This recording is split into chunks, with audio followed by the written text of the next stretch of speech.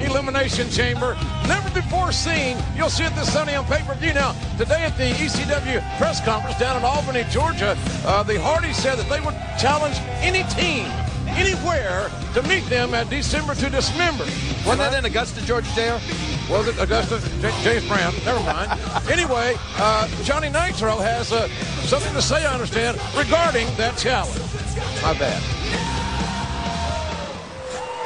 The Hardys are getting back together. What's next? NSYNC gonna get back together too? Hardys, you want to issue an open challenge? Well, we have a surprise for you. Oh, yeah. Joey Mercury. Yeah, boy. How you been? Yeah, Hardys.